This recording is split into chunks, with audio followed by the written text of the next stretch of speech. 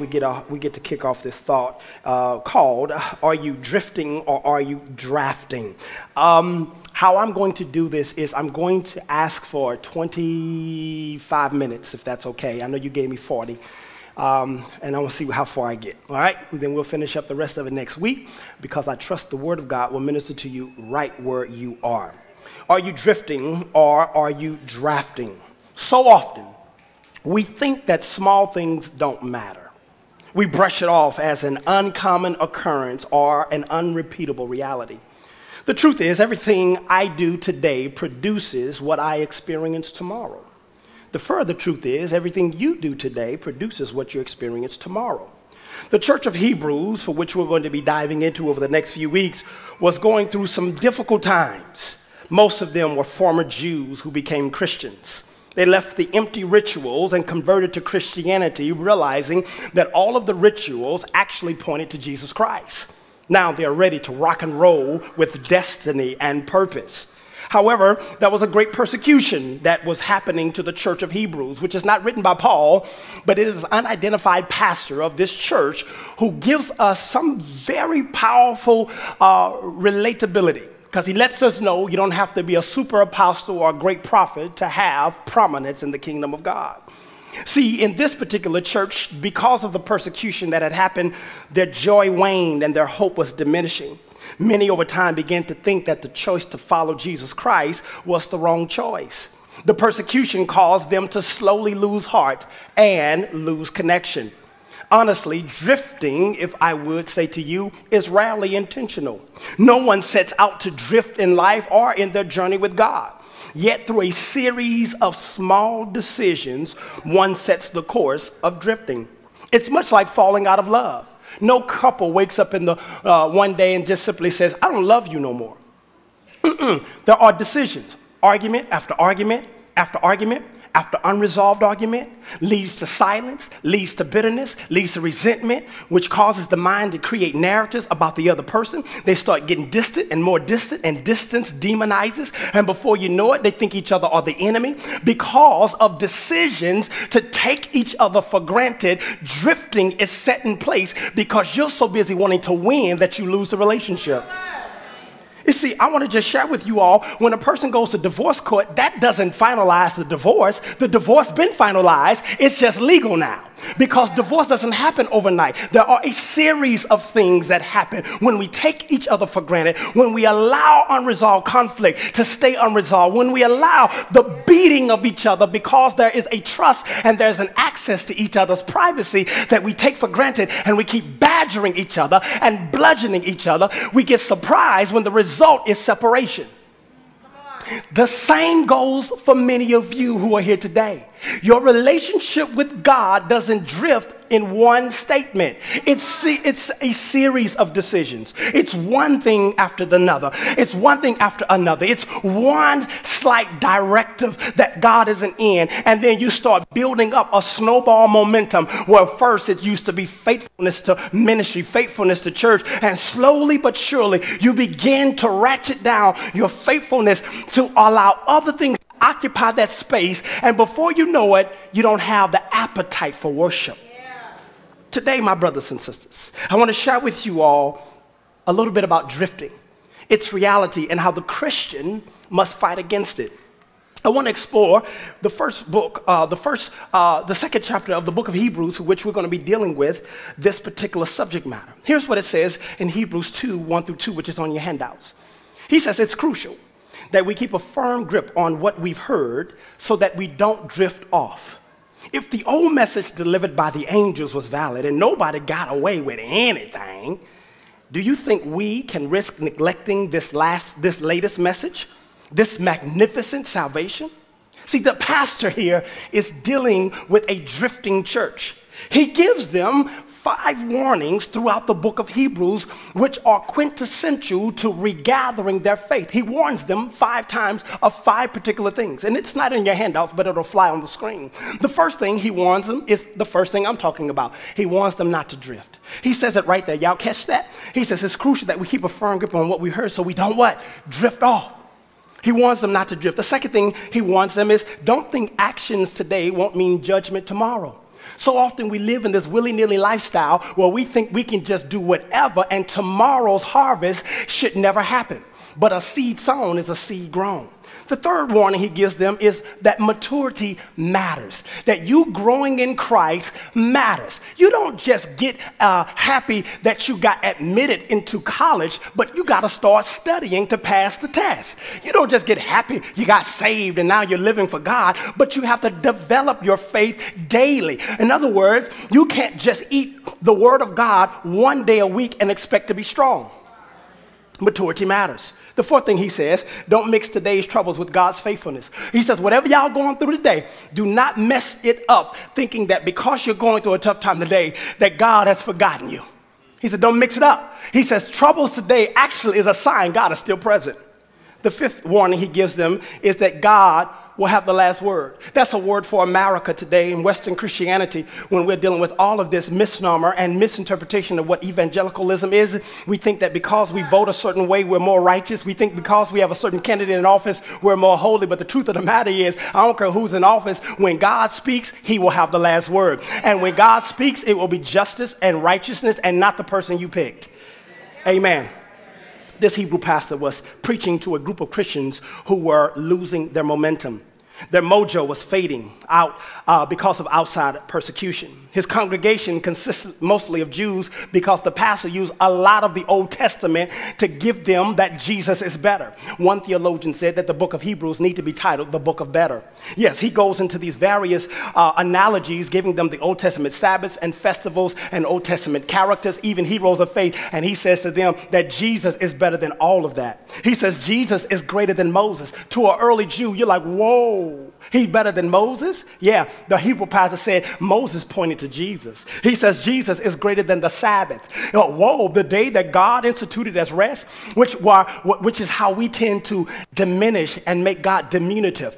We tend to say that Sabbath is a day. So you have whole church organizations that build their entire faith on whether you worship on Saturday or Sunday, not realizing you missed it altogether. Jesus is our rest.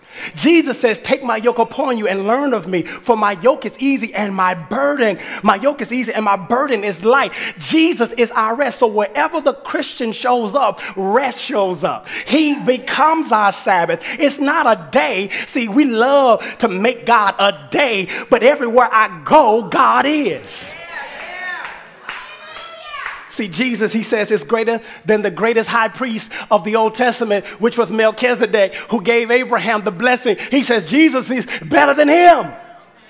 And he ended up saying that Jesus is greater than the sacrificial system where the priest had to go before God daily and make sacrifice for the people and constantly because of some of the sins. But it says our high priest, Jesus in Hebrews 10 and 12, but our high priest offered himself to God, not continually, but as a single sacrifice for sins, good for all time, which means I don't have to keep going before God saying to him what I have been delivered from. But Jesus becomes the ultimate sacrifice and he is the, he is the sacrifice that pleased God God on our sinful behalf.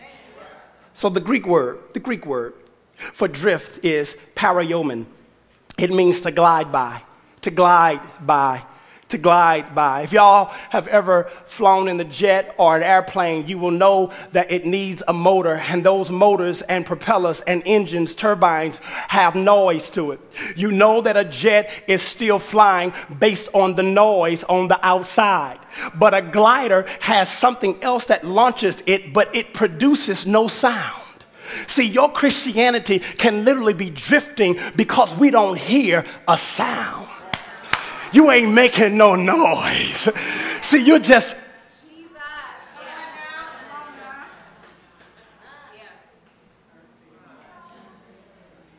Worship is going on in the house, and you're just.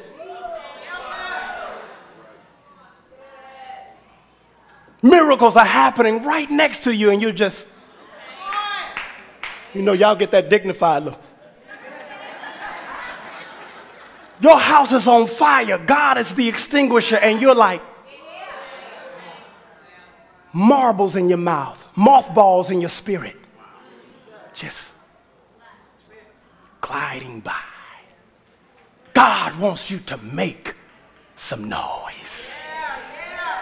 Why? because you have not. Because you ain't talking. And you expect God to keep answering silent prayers. But when you release the sound, I love it, you let the atmosphere know this is unacceptable until God answers. So the question is are you gliding by? This word does only appears, parayomen only appears once in the New Testament, but the Septuagint, which is the Greek translation of the Hebrew of the Old, uses it one time. And it's found in Proverbs 3 and 21. Look what it says. My son, do not look at the word slip away. Same word, parayomen, slip away. But keep my counsel and intent. Don't let it slip away. Contextually defined, drift means to lapse into spiritual defeat describing how we slowly move away from our moorings, our banter, our speech, our spiritual righteous patriotism for Jesus Christ. Here's the dilemma. See, any speaker will tell you that in order to correctly address the audience they've been called to speak to, they need to know the audience. This pastor lets us know what he's dealing with. Check his audience out. In Hebrews 5:11, he tells us this is the audience, the congregation's problem. He says, I have a lot more to say about this, but it's hard to get it across to you since you picked up this bad habit of not listening. By this time, you ought to be teachers yourselves, yet here I find you need someone to sit down with you and go over the basics on God again. Starting from square one, baby's milk, when you should have been on solid food long ago. Milk is for beginners, inexperienced in God's ways.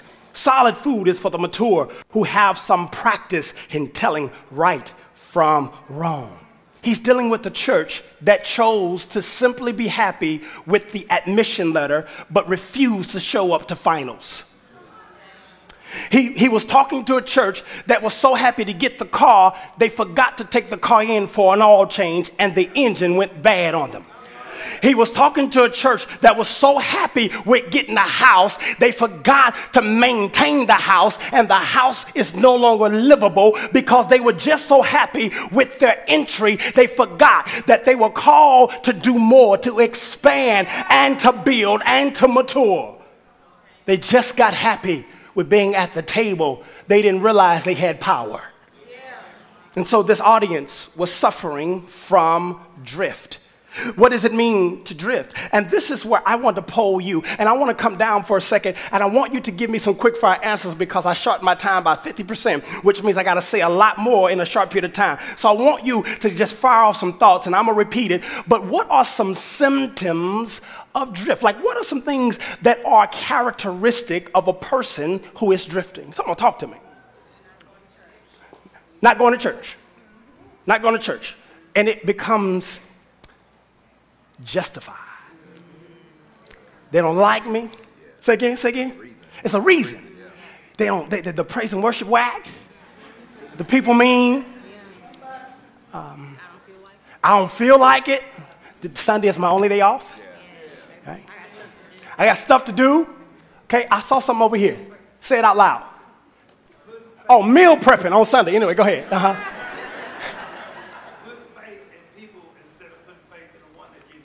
Focusing in on the people and not on God. Story told of a woman who went to her pastor's office and said, I'm leaving the church because the people are mean and unkind.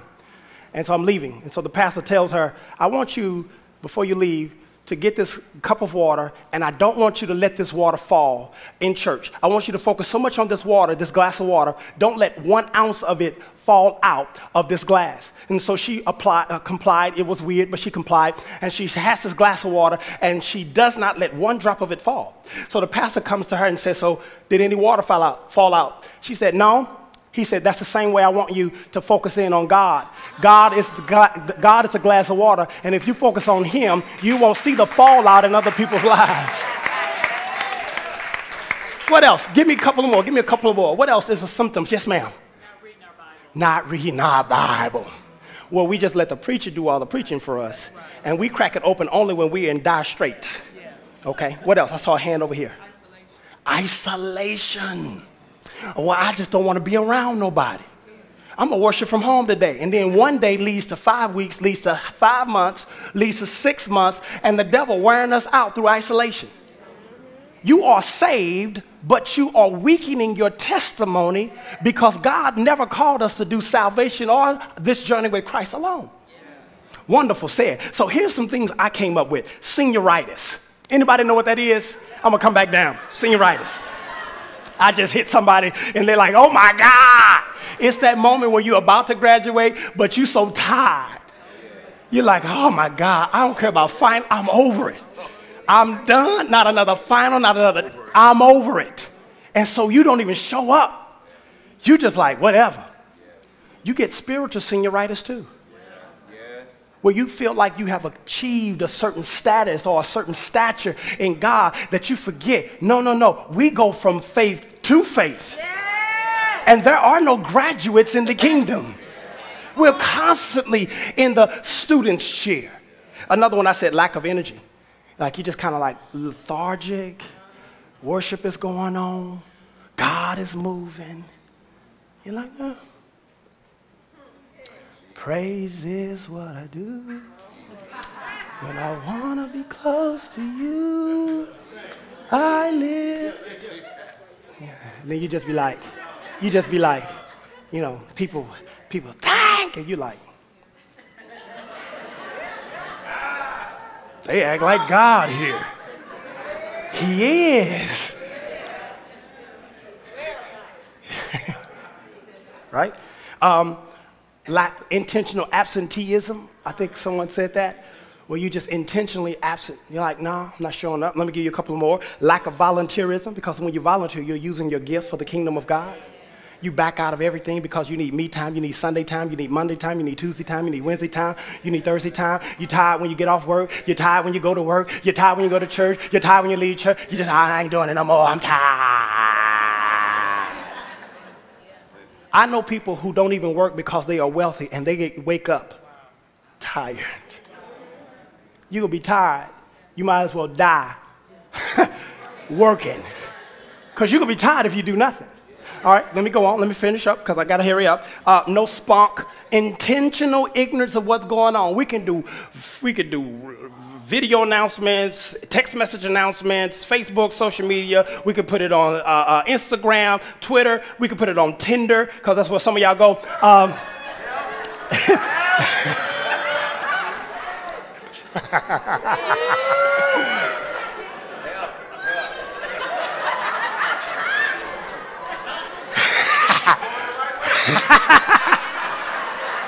Swipe right if it ain't right.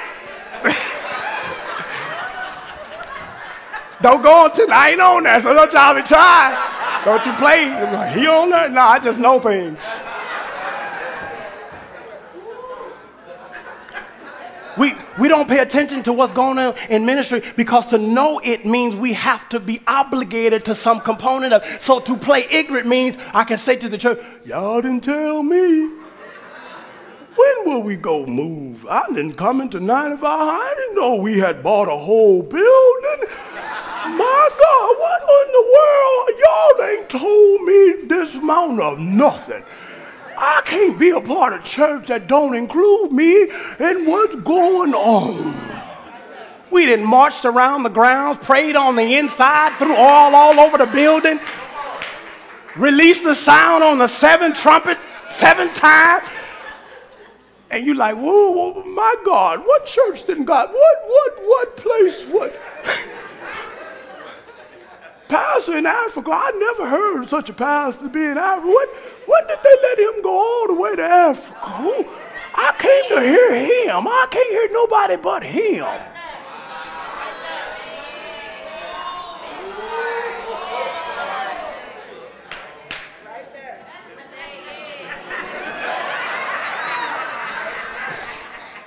I got six minutes, but I'm gonna ask two more. Uh, lack of giving.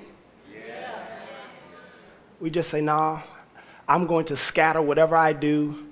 You know, church 54% to pledge. I ain't 54% to my savings goal. Don't, they don't need me. We, we opt out. We pull away. We say, no one will ever notice. Guess what? You're drifting. You're just gliding by, not making a lot of noise.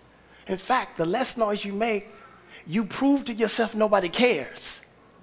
Because you want people to read your mind. You want them to look at you and say, oh, today, James Bartholomew Payne. That's not his middle name, by the way. I sense and see that you are feeling a little despondent. Could it be? Hold on, don't say nothing. Oh, Lord, I thank you. Glory to God. I went to the prophetic summit, so I got some prophetic anointings now. Um, um, School of the Prophets has blessed me. I, I uh, yes, yes, yes. Okay, this is what the Lord is saying. Are you seeing stars at night? Okay, thank you. Glory to God.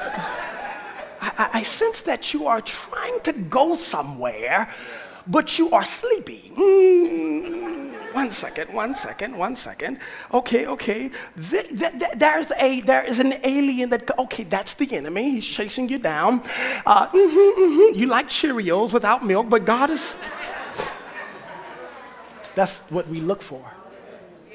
See me. See, I'm not praising and worshiping. See that I'm not happy. And then tell me all that I'm going through. And if you can't, this is not the place for me. See, my brothers and sisters, I'll go give you an analogy, but let me just give it to you real quickly. In fact, just fly it up there. If a rocket ship is one degree off going to the moon, in one mile, it will be 92, uh, 92, let me get it right. There you go, 92 feet off course. Just 92 feet. If, it, if it's one degree off course from the moon, in one mile, it'll be 92 feet off. But by the time it gets to outer space, it'll be 4,900 miles off through one degree of being off. Question is, are you in no man's land? Are you, are you just floating in the place that you know has no destination? You're drifting. Small decisions matter. Let me help you out. Let me give you four ways to stop drifting. Thank you for those two minutes. I'll get y'all out of here. I promise you, it is almost time for me to go. I'm going to give you one. Here's the one. I'll give you two. Here's the two. One, read God's word and take it seriously. It was said by one of you all, and I appreciate you. It would read God's word. Don't just get to the place where you take in the diet of the word of God once a week, but get in the place where it becomes your breakfast, your lunch, and your dinner. God never gives victory to people that don't have fuel for it. The word of God is fuel for it. Can I give you real quickly what it says here? He says in the Hebrews 2 1 through 3. He says, It is crucial that we keep a firm grip on what we what? Heard how can they hear without a preacher? How can he preach except he be sent? Faith comes by hearing, hearing by the. So the enemy wants to cut off the method that God created to build your faith because you might have issues with pastors.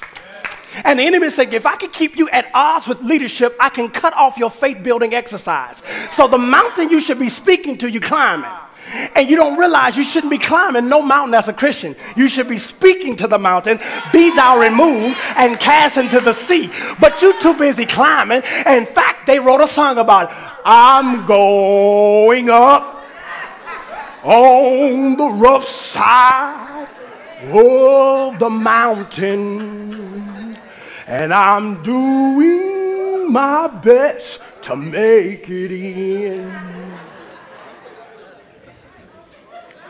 you shouldn't be climbing nothing. But when you cut off the method of growth, then your faith stays stale. You think that the word of God is something can be easily dismissed, not as a child of God. You, you, your spirit man cannot afford to take in every ounce of gossip weekly and not the word. He says, take a firm grip of what you heard. Don't let it slip. Before Joshua could go into the land of promise, God didn't say sharpen your sword. God didn't say sharpen your axe. God didn't say train them on drop, rock, drop, uh, rock and roll. He didn't train them on some new method and military strategy. God told Joshua, this word, this law, don't let it depart out of your mouth, but meditate in it day and night. Then you shall have good success. You shall prosper and have good success. When should you take it in? Uh, Joshua, day and night. You, listen, one meal a week makes a saint week. And it's not about what the church is doing. It's not about programming. If the church did more stuff, I would be there because that's the trick of religion. And that's the spirit of religion in the metropolitan St. Louis area. We got more conferences than conferences got conferences. We got a conference every week. Next thing you know, we're going to have all. See, what y'all need to understand real quickly, um, I'm in my apostolic mode where I come up and I look down and I see the region. Here's the deal St. Louis is a circus region. We love, we love circus kind of stuff. You preaching, you preaching in a red velvet suede suit. And God said, because it's red velvet and suede, the blood of Jesus is going to wash over the house. And I got some red oil, and I'm going to lay hands on red people who come in with red lipstick and drive a red car. We love, we get, oh yeah, we get excited about it. not as egregious. We listen to false promises that give us quick fixes, and we jump to these comforts. They rape us of our faith. It's a money making scheme. We flock to it. We even let people put false labels that they're in revival, but no one is reviving. And we don't mind if it's 9,000 speakers from across the country because we're looking for oil from wherever we can get it. But God ain't going to let oil come from the outside. God going to raise oil from the soil because God wants to crush some stuff here so oil can be produced. And the way St. Louis gets revival is when we start settling our appetite in the Word of God, personal growth, quit comparing notes to who's doing what. We're not John Hannah. We're not Matthew Stevenson. Quit trying to find that here. God God is doing something unique, right? Nothing against the man of God, but I'm saying we keep trying to make somebody else us, and if they're not us, we flock to it, and God is saying, You missed it. Because what God's going to raise up is right in the house of Israel. All right, can I go on? Quickly, number two. Number two. Ah. If you're going to stop drifting, number two, and I'm done. I promise y'all I'm done. We're over. Forgive me. Um, um, uh, those in the internet world, we love you, um, but we have come to the point of our departure and conclusion. It's been real, but deuces. Here's the deal. If you're going to stop drifting, recall the miracles of yesterday. Recall the miracles of yesterday. We call this mental rebooting or rebooting, rebooting your mental hard drive, where you can go back to how God gave you what you have now. In fact, let me just share one of the more, more basic problems Christians have with God is forgetfulness. We, we tend to forget the goodness of God. We tend to forget what He's done for us, what we prayed for. And wherever there is forgetfulness, there's devaluation and entitlement. Devaluation is when you no longer have it as a priority, but you make it less in value. So you just kind of come into the presence of God like, uh, whatever, sure. He's here. Ah, uh, he was here last week too. Whatever. God be with us. Oh, amen. And then entitlement is the idea that God will always do what God has always done without us ever having to respond in kind. Wherever there's forgetfulness, there's a missed opportunity for greater blessing. Because when you devalue God, when you feel entitled, you feel there's no need to comply with the demands of the other party because He will always be there. Now, here's the deal when you remember that you're not just somebody who popped up on the scene, got the degree, got the house, got the car, got the blessing, got the mental uh, clarity back and the emotional wholeness back, but God performed a miracle in your life. You're not here based on just happenstance, but if you look back, come on with me and go back in the time capsule. When you look back and see that it was God that brought you a mighty long way. How did you get into college with a 14 on your ACT and got a master's degree? God made a way out of no way. How are you opening up a business in the midst of a down economy in 2008? God gave you the grace and the blessing and the favor and the anointing. How is it everybody else is lacking, but your belly is full of the goodness and the grace of God because God put his hand on you. Nudge your neighbor and say, I'm a walking miracle. I'm a walking miracle. I'm a walking miracle. I'm not what you think I am. So you got to be careful what you think about me because I'm here based on the grace of God. I'm here based on the miracle working power of God. Do I got anybody here that can say if it had not been for the Lord who was on my side. Oh Lord, where would I be? Do I got anybody here that can say it was God that brought me a mighty long way? Remember, recall. Here's the last thing. Read this with me. I'm done. Rest stand all over the house. I'm done. I'll finish this next week. Ha! That's what the pastor says. If you're going to stop drifting, remember the reason you got launched in the air was because God put you there. You are the miracle story of God. And you need to go back to when He first got you in the place He has you right now. I need no walking right now. I need everyone aside from ushers and greeters to be in position. Because I want to just pray over you real quickly and I want to see what going to do and what God's going to do. But here's what I want you to read. Because I'm not going to be able to fellowship with you. I love you greatly, but I got to go. I got to go. I need you to get this though. Remember those early days after you first saw the light. The pastor says those were the hard times. Kicked around in public, targets of every kind of abuse. Some days it was you, other days your friends. If some friends went to prison, you stuck by them. If some enemies broke in and seized your goods, you let them go with a smile, knowing they couldn't touch your real treasure. Nothing they did bothered you. Nothing set you back. So don't throw it all away now. You were sure of yourself then. It's still a sure thing. But you need to stick it, stick it out. Staying with God's plan so you'll be there for the promised completion. Can I tell y'all something? When you remember God's goodness, you reposition yourself for the promises of God. The pastor tells them when you think about the goodness of God, you put yourself in the posture for the next miracle. He tells them in Hebrews 10 and 37, it won't be long now. I know it's been a few nights, but it won't be long now. Because he that shall come will come. Yeah, yeah. It won't be long. Hallelujah to God. It won't be long. It won't be long. What you've been asking, it won't be long. You're at the brink of it. You at the you're at the door. I know you're tired. I know you're weak, but it won't be long. Yes, yes. Can we just worship because I want God to do something in the house? We're gonna let y'all go, but we gotta do this quickly. Here's the deal. It won't always be like this. God will perfect that concerneth me. Sooner or later, it will work in my favor. It's turning around. Can y'all prophesy that song over your life? It won't always.